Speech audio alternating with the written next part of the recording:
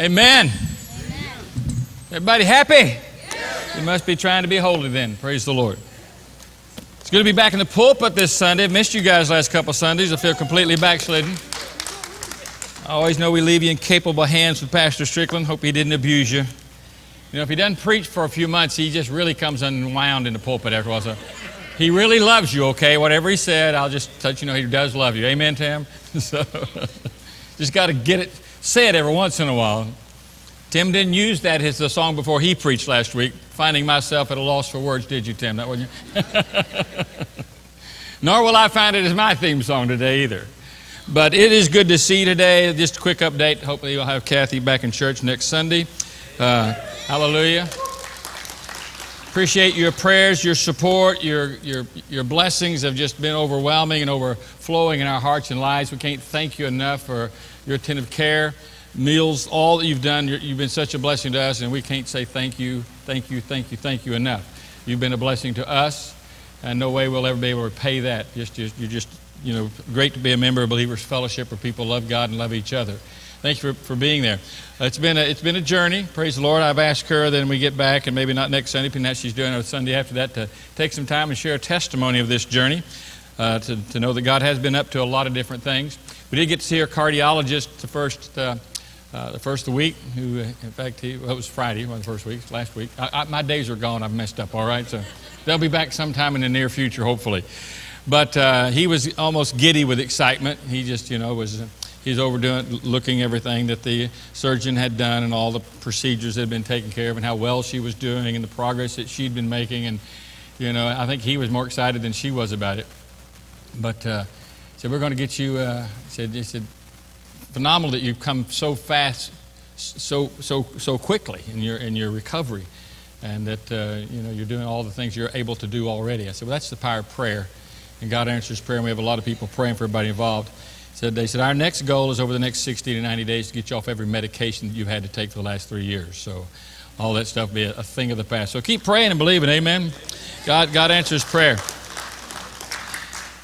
Didn't tell you about the man who had a heart attack and he was rushed to the hospital himself and very touch and go. And they, everybody around him was told, you know, don't do anything to arouse uh, any excitement or anticipation or worries. Just, you know, nothing emotionally is going to this guy. And you keep him at a steady, eddy for a while, you know, just don't do anything that would just get him excited. We just need to keep his heart rate and blood pressure and everything just calm as possible. Uh, word came to one of his relatives that uh, a rich uncle of this man who's in the hospital, a rich uncle had passed away, and the man was going to receive an inheritance of millions of dollars. And they said, We can't tell him that, you know, no telling what'll happen this, you know, sensitive condition that he's in. What, what possibly could it result be? So, uh, so they called on the pastor. I don't know if because he was so boring or what and said, We would like you to break the news to him about this inheritance, but do it in a way that, you know, that won't get him. So the pastor thinks he comes up with a great plan. He walks in there and he says, You know, knowing how sensitive it is and how things could cause a heart attack. And he says, Sir, you know, he said, It's good to see you. He did a little visitation thing. He said, By the way, if you, if you, if you inherited millions of dollars, what would you do with it? He said, Well, man, I'd give half of it to the church. At which point the preacher dropped dead. So, anyway.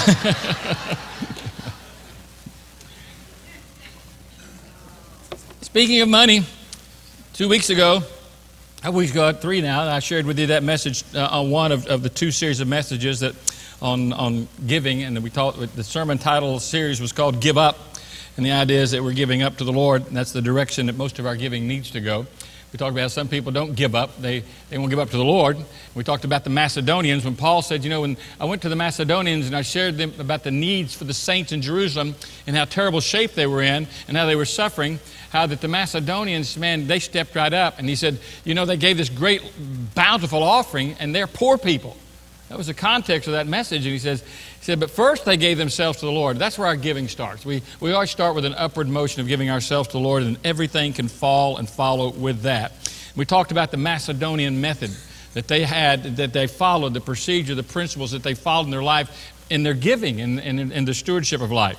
And Paul's continuing his, his, his, the, the, the theme of that that stewardship and the theme of learning to be a giver and learning how to, to give offerings to the Lord with this message today. We talk about giving, give up, and I want to talk about more about motivations because I think so often uh, we don't understand the motivations for our giving. So I want to talk about, about that. But let's, let's look at what he continues to say after he speaks to the Corinthians about the Macedonians. He goes on to say, I say, he who sows sparingly shall also reap sparingly, and he who sows bountifully will also reap bountifully. Each one must do just as he has purposed in his heart. Catch this. In your heart's where it starts. Not grudgingly, not under compulsion, for God loves a cheerful giver. God is able to make all grace abound to you so that you'll always have all sufficiency in everything. In other words, God's going to meet all your needs. But you can also have an abundance for every good deed. In other words, you have enough left to give to others.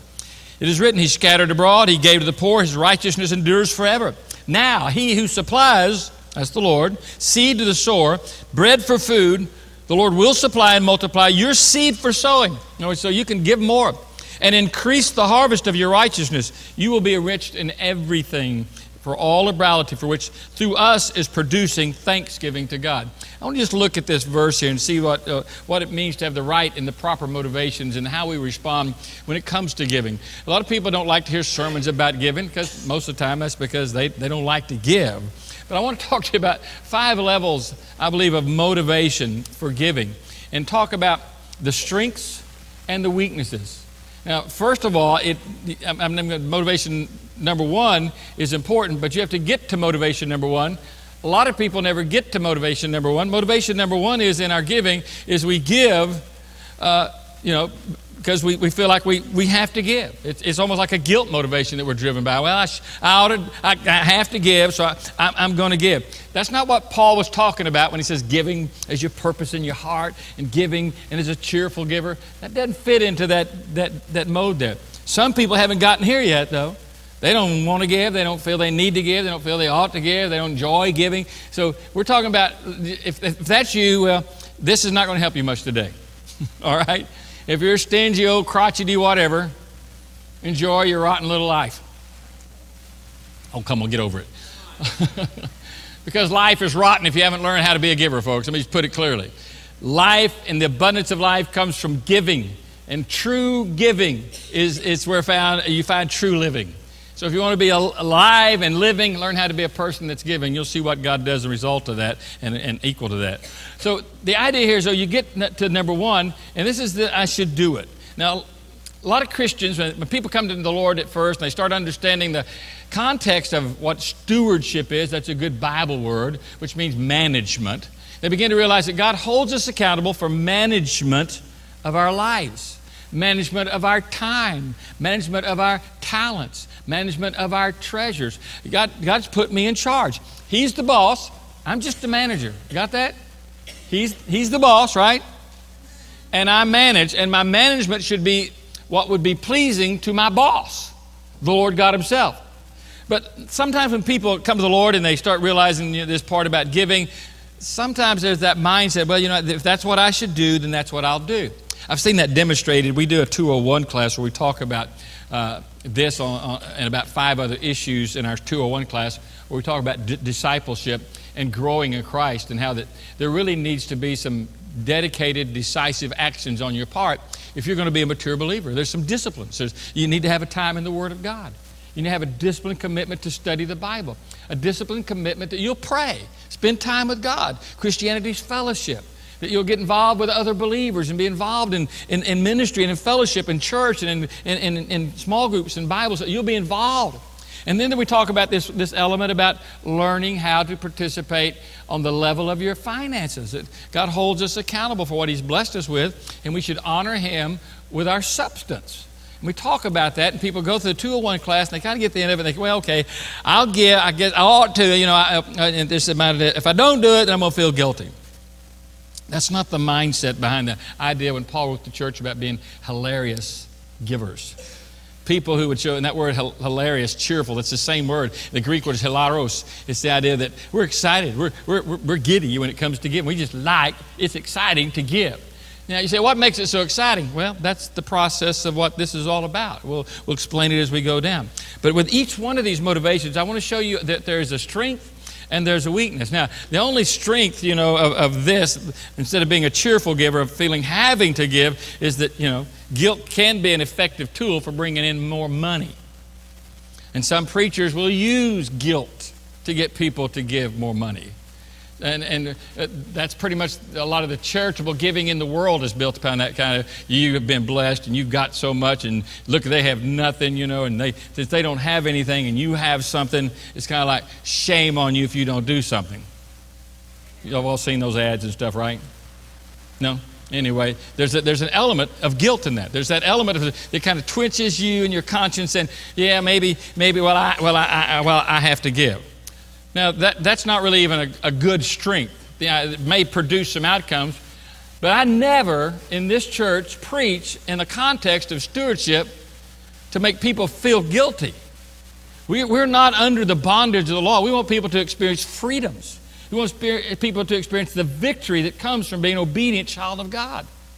And so if you're stopping here, then there's not much to it. That's a bad motivation. The weakness of this is basically that it's unbiblical. It brings no joy. It doesn't help you outgrow materialism. It doesn't help you walk on a deeper level with the Lord. And remember this when it comes to our relationship with God, attitude always matters. Attitude is always important. So, how I give and the attitude that I serve the Lord with, the attitude that I work with other believers, that, that's extremely important. Learning how to get past the guilt to be the cheerful giver. Some of you remind me of the little girl who, who, whose mother wanted to kind of see where she was spiritually. Little six year old girl, and so she gave her a dollar bill and a quarter. Says, I want you to put an offering in the church today. You decide which one you're going to give. And so she went to church, and it was time for the offering, and the preacher gave this little stirring thing about how I remember folks it's more joyful to give than it is to receive and you know all the things and the plates were passed and she gave her offering. On the way out, Mama said, Honey, did you give the dollar or the quarter? So, Mama, I really took to heart what the preacher said. This, that I could be more joyful if I kept the dollar than and, and I gave the quarter. That's where some people, well, I'll be happy if I keep the larger amount. Uh, and they get in that, well, it's all, it's all guilt driven. Catch the next motivation. This is motivation number two of five. It's called responsibility. That kind of mindset where I move from have to to, well, well ought to. In fact, Paul wrote the church in 2 Corinthians 8 7, he says, You need to excel in the grace of giving. He said, Excel in your faith, you need to excel in your, in your, in your speech and your witness, and you need to excel in your liberality, your giving.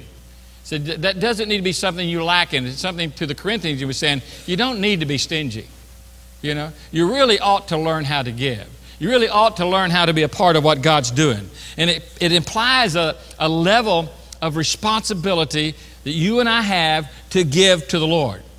Now, most people still hadn't got that far. I remember reading a recent study on congregational giving that said about 20% of the members of the church give about 80% of the funds that are required to run the church. Kind of broke it down to 30% give 20% of it. Approximately 50% of the average church, and I, don't, I think we fall outside those parameters. I've always thought we were exceptional, amen. But 50% of the average church members never give anything at all. Ever. Now, folks, I was going to tell you if you're a child of God, you ought to be giving. That's not the motivation, but it ought, to certainly be some kind of discipline in your life where you move to the point of saying, hey, I want to be a part of something. Now, there's strength and weakness with this. The, the strength is this money, when it's given for ministry, you know, you approach it that way, it's, it's a better motivation than giving out of guilt. People learn responsibility, and responsibility is always a healthy character trait. Amen? But we want to teach people the responsibility that we all have in the kingdom of God. God's called us the body. Every part has a gift. Every part is supposed to be supplying. Every part is supposed to be giving. Every part is supposed to be doing and serving and working. So we teach a little bit of responsibility, but the weakness, when that's the motivation, giving solely out of responsibility will limit the joy that God wants you to experience in your life when it comes to giving. And I believe also limits the, the amount that I give when I give. If I just give strictly out of some kind of a legalistic approach, well, I ought to give, you know, the pastor talked about a percentage and 10% and tithing and all that. It's easy to say, okay, I gave my amount, I did my part, I'm done. I'll make it. I'll get by. That's not the motivation that I believe that the Lord is eh, that the Lord is pleased with in our life. So there's the strength of it, which, you know, you learn some responsibility. But this, there's another motivation where a lot of people fall into, and it's what I call motivation number three, called want to giving. needs based giving. A lot of people are driven by the, in their giving by needs. They see a need, they respond to a need. Something moves their heart, something they see, and they respond to it financially. And, you know, God wants us to be concerned, obviously, about meeting needs. Um, remember, when Paul is talking to the Corinthians in this letter, he's pointing out a need. He's talking about the Jerusalem needs and the church's needs in Jerusalem and how they were suffering and because of all the persecution, how many were dying, how that, you know, that the church needed to respond to their brothers and sisters in Christ. You know, and I, I believe if he'd had a PowerPoint to show them pictures, he probably would have. but I think he gave them a very clear, accurate picture of need. And their hearts were moved by the need. The Macedonians were moved by need, but we'll see later on that it went beyond need because they said they first gave themselves to the Lord. So there's an illustration here of the importance of letting the church know when there are needs and financial concerns and opportunities to give something. But knowing about a need often kindles a desire for, for me to say, hey, I want to be a part of providing resources. If I was ever in that situation, I think I would want God, people to do something to help meet that need in my life. So we, we see there's, there's some kind of basis, but there are strengths and weaknesses. The strength is this giving to satisfy needs does feel good. All right?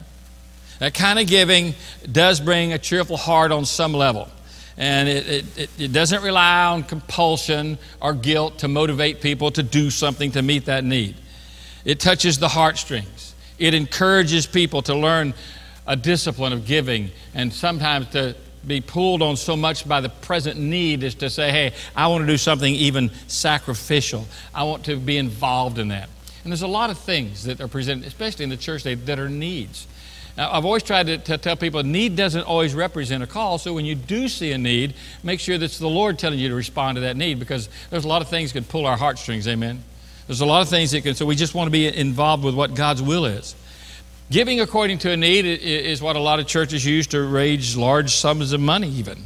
And to get people involved in giving, perhaps we might never get involved in giving. And there are needs that come up. I mean, we, we had a tremendous need here, close to $100,000 with all the air conditioner systems and all that was going on there. And the people responded graciously to the need. I think by the end of December, all those things were paid for. Now, we have two more units this year we're going to supply, but that's another need. We'll talk about it another time when the time is right. But people do respond to need. But that's really not, even though it's more positive than the others, it's not the motivation that we should have. There's two more things I, I want to talk to you about here in, in these motivations. I think that'll help you that. But the weakness with this one is some people don't approve or see needs. You know, some people are just negative about those things and, and they ignore requests. Even though there might be a legitimate need, they're not moved by that need. I mean, we all see that happen all the time. There's some things that move you and some things that don't move you eh, to give to something, and you know, it's just that you know. but if it, it can't be just need driven, the church has ongoing efforts which may not tug my heartstrings, but it's a need, all right? So we want to pray and we want to move forward and say, my giving can't just be based upon needs. Sometimes I'm giving because there's a need. But that can't be the, the real genuine motivation.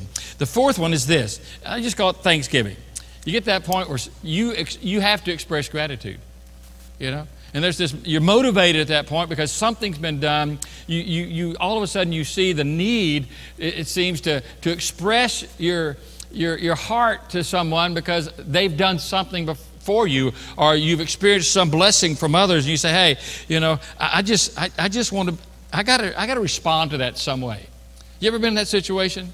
Uh, you know, we were at the, at the hospital after Kathy's surgery. You know, that was probably the most exhausting thing I've been through those, those two weeks you know, because you're, you're staying at the hospital. It's terrible accommodations. The food stinks, you know.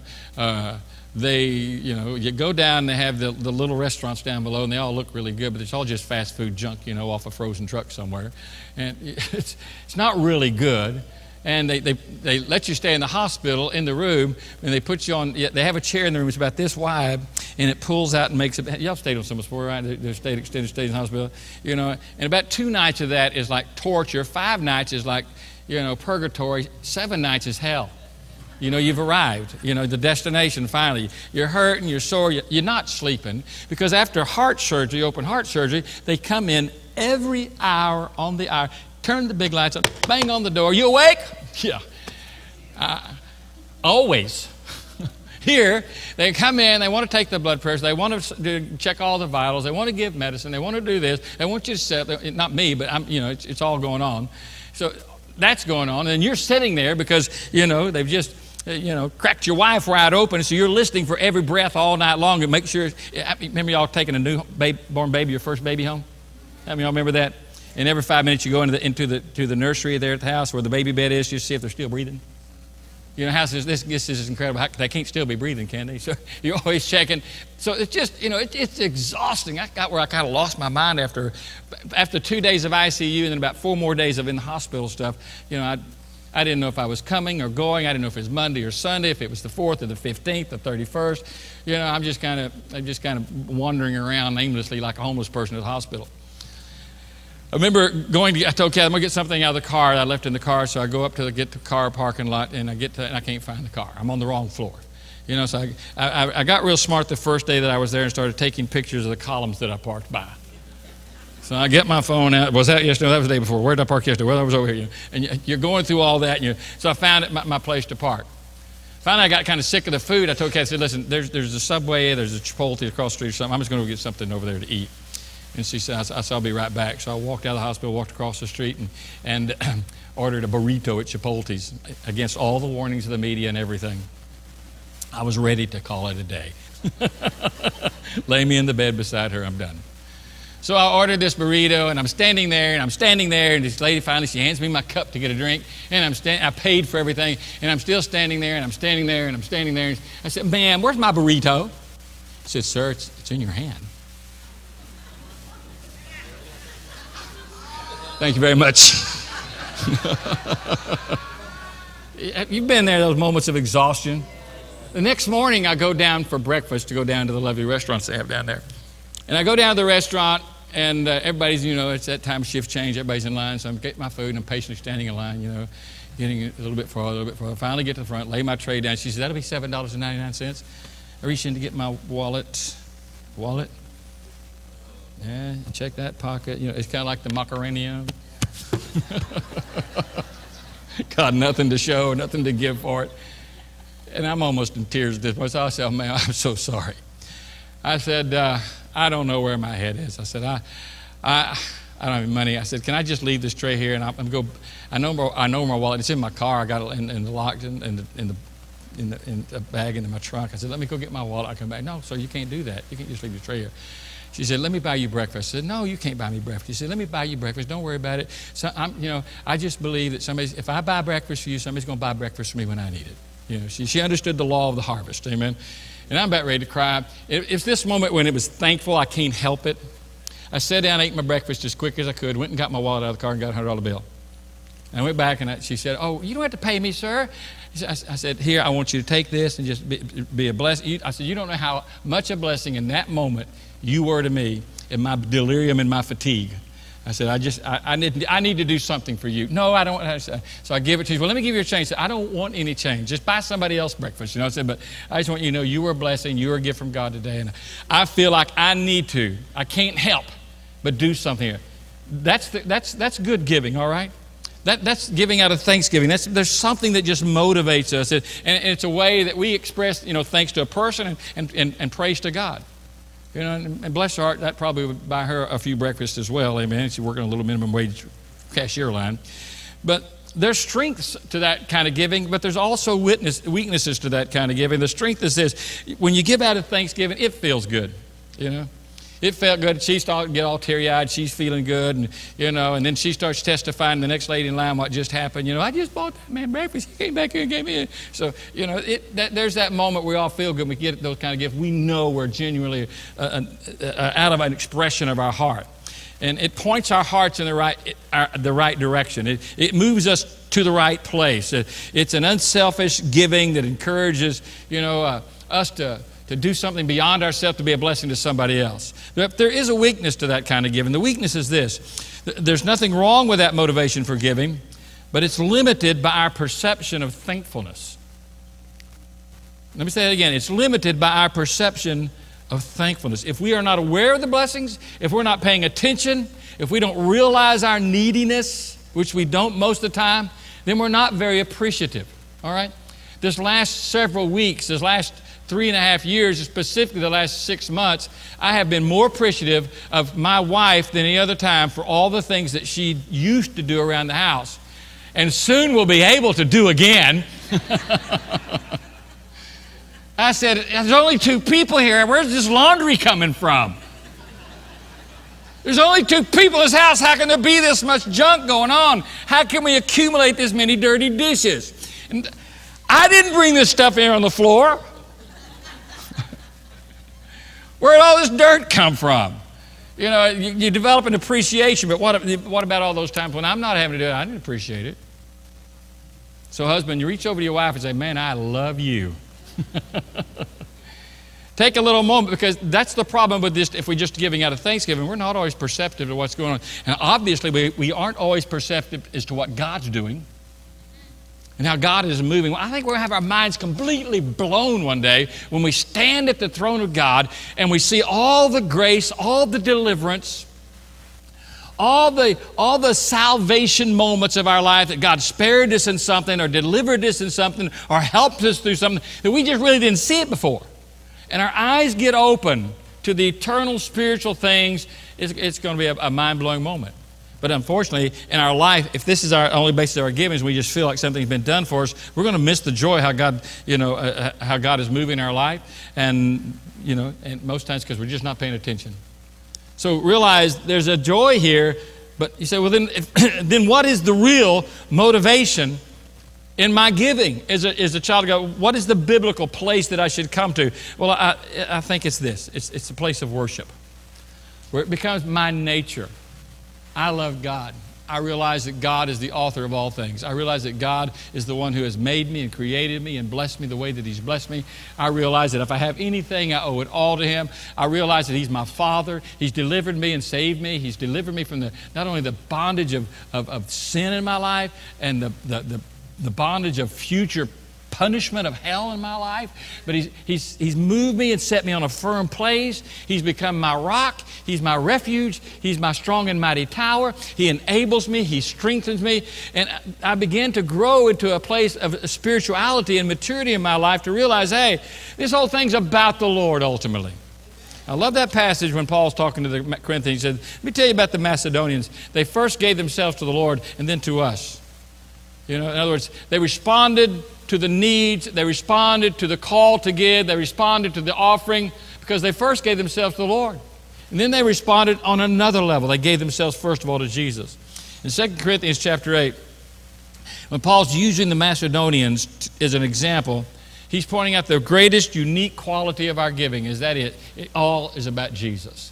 It's all about the Lord. It's all about the glory of God. It's all about the kingdom of God. It's all about seeing God's will done. It's all about God moving in our lives, moving in the world.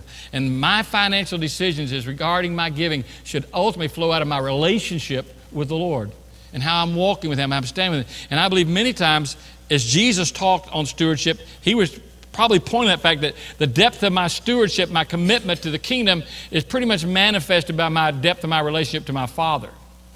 That I, I, if I really do love God, I end up putting my money where my, my where my mouth is. Amen. Because it flows from the heart. When it's your nature, when you're walking in the Spirit, when you're being sensitive to God, when you're growing in Christ, it's your nature to give to God because it becomes now, it's an act of worship. How often have we told people as they come and as they go, coming in with their offerings or leaving with their offerings, the reason we, don't, we have the receptacles and not past place is because people, we want you to realize that this is an act of worship.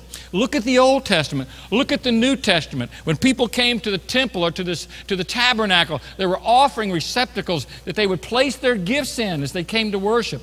When Jesus was standing at the, tap, at the temple one day, it says he stood over and against the treasury. What is that? Those were those boxes that were there for people to place their gifts in. Remember, the widow came through and he said she cast in more than all. What was he talking about? What she cast into?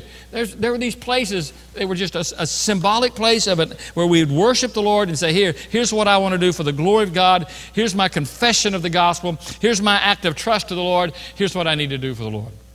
So we, we are a little different than not passing the plates. In fact, I never could stand that time in church. You know, it was always the most somber, horrible organ music. It felt like you at a funeral procession. People are always so sad. Nothing to do with cheerful giving.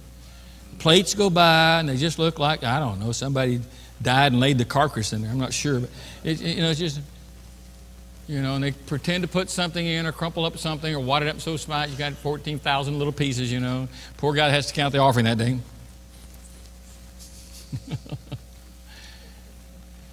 it is an act of giving unto the Lord. And not somebody standing over your shoulder watching are you going to give something, you're not going to give something. But you just worshiping God. Now, you say, what is, what is the real strength of that motivation? Well, the strength is, you know, there's only strength, basically. It's worship is the highest possible motivation that we can have. It creates in our heart when desire to be worship, it creates commitment. It, cre- it creates a, a, fellowship. It, it shows a demonstration we truly love God, that we want His work to be done in people's lives. We want His kingdom to advance. We want the church to grow. We want, we, got, we want souls to be saved. And guess what? That feels good when you think about it. And that creates an attitude of cheerfulness where I can come in and say, I want to do something for the glory of God. It's my worship. Kathy was begging me about coming to church today. I wouldn't let her. Doctor said, stay out one more week. He said, because you know that incision and the coughing issue, if you pick up something like bronchitis or a cold, right now it's not going to be pretty. Wait one more week. And he was right. I know you guys are, you know, dribbling and sniffing and snorting. You're going to come up and hug her and kiss her and all that stuff. You know you are. he said, so wait one more. But you know what her words were, what, what, what, some of her last words were this morning to me? She handed me an envelope and said, Do not forget to put our offering in the box. Some of you will sit home and snivel with a cold and put in your dollar by some other means. it's joy, it's worship. You say, Well, what are the weaknesses? There aren't any. when it's given with this kind of motivation, the devil can't steal it. He can't steal your joy. He can't, he can't stop the work of God. He can't hinder the cause of the gospel. He can't keep you from experiencing the blessing. He can't stop you from receiving the reward of your gifts because when you do reap, you do, you know, when you sow, you do reap. So there's just no, there's no negatives here. And as you start realizing that, hey, you know, I need to make always sure that my giving is an act of worship that when I do it, in fact, some of you have learned the lesson. Some of you have learned it well. I mean, when you give your gifts and you place your offerings, I mean, you put scripture verses. Sometimes it's Luke 6.38. Sometimes it's Malachi chapter 3 about Satan, you know, not being able to destroy you and God opened up the window. You, you know, you understand it as an act of worship. You do it as an act of faith. You give it in faith. I'm, this is for the Lord and for the God and for the glory of God and for the work of God, for the kingdom of God. Philippians 4. Paul is thanking the church of Philippi for what they've done. He said, You know, he said, I've received everything in full, and I have an abundance. I am amply supplied. Why? He said, Because, you know, they sent this gift by Epaphroditus. He said, I've received and for what you sent. What did they send? They sent a gift, a financial gift to meet the needs for the ministry that was going on. He said, it, it was like a, it is a, he said, not like, he said, it is a fragrant aroma, an acceptable sacrifice, well pleasing to God. I hope that we place our gifts before the Lord as an act of worship, we understand that, that it, it is like an offering it, to the Lord. I mean, we see all these offerings in the Old Testament. This is a New Testament offering. This represents a portion of the blessings that He's given me. And so, since I recognize that it came from Him, I honor Him this way in worshiping them this way. And I yield it up to Him, and it is a sweet smelling aroma. Smell like dirty money to you? Since it's an act of worship, it's converted to a sweet smelling aroma, an acceptable sacrifice, well pleasing to God. What's so well pleasing, man? It's done with a heart of worship. It's done with a heart of worship. Pearl Bartle wrote this statement. It says, If I fail or succeed in my stewardship of life, he said, I fail to succeed in my stewardship of life in proportion to how convinced I am that life belongs to God. I'm going to fail or succeed in whatever I'm doing, ultimately within my giving, obviously. Do I really believe that my life belongs to God? People who don't give their time or their talents or their treasures are not truly convinced that their life does come from God and belong to God. But when we begin to realize that our life comes from God, belongs to God, it's going to God, all things are of Him, through Him, and to Him, we understand that, we get a grip on that concept, guess what? There's no problem. There's no problem to give and to be a part of what God's doing. I think I said a couple weeks ago, stewardship's not leaving a tip on God's tablecloth. It's not my offerings, like some little tip to the waiter. My giving, your giving, our giving becomes a confession of, of our gratitude and our love and our worship for the grace of God that was demonstrated for us and played out for us at Golgotha, Skull Hill, when Jesus shed his very life's blood for us. He gave it all. He gave it all. I remember back in the 80s, there was a little comment that said, you know, the most, the most two expensive words ever spoken were spent by, a, by, a, by an actor, uh, uh, Lee Marvin, I think it was, one of those guys. He did an advertisement for Schlitz beer. I don't know if they make Schlitz beer anymore, do they? Don't confess. Nobody wants to know if you know. Anyway, we're in church. But it, the only two words they paid him, they paid him a half a million dollars for two words in, in, in this ad. And two words were Schlitz Light. He got $250,000 a word. Now, I'm sure there's probably been more expensive words, but that was the Guinness World Book of Record for saying Schlitz Light. Take me half a million dollars. I said it twice now, I'll get a million. Most expensive words ever spoken were on the cross. God, Jesus says, Father, forgive them. And he said, It's finished. And so we move and we breathe and we live and we act out our lives as an expression of gratitude to God. And we love God and we love each other and we love a lost world. And it's demonstrated that we truly worship God because our motivation is righteous. So examine, because we've all given out of those five probably at different times. But I would say weekly, when you come, or bi weekly as you get paid, however you do that, you know, as you give, always make it an act of joy. Always make it an act of worship. Always with a realization that, that it becomes a, a well pleasing sacrifice, that it is sweet aroma to God, that God's going to use it for the kingdom, that people's lives are going to be changed, that things are going to be done in eternal sense for the glory of God. Realize the value of it. Realize the beauty of it. Realize the glory of it. Realize Jesus in all of it. We just stand with your heads bowed this morning.